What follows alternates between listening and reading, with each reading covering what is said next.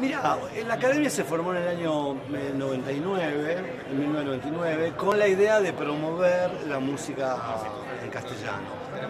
La academia vive con todo el mundo, como todo el mundo, los eh, avatares de la historia y la atraviesa también la revolución tecnológica, que empieza en el Silicon Valley en el 70.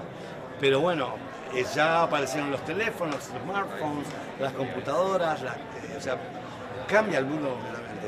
Entonces me parece que la academia está acompañando el proceso de alguna manera. Lo que queda es que hay una institución de alguna forma que está acompañando el proceso de muchísimos artistas eh, en el mundo latinoamericano, en este caso, o, latino más que latinoamericano. Y quiero incluir el latinoamericano a los españoles, a los franceses, a los italianos, a los portugueses, eh, por supuesto a los brasileños, eh, que tienen una escuela musical inmensa. entonces creo que sirve para eso, es un lugar de encuentro, de charla, de de cruces para hacer nuevos amigos o reencontrarse con viejos amigos.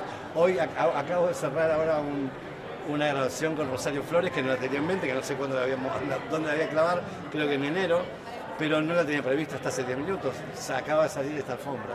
Así que ese tipo de cosas suceden aquí.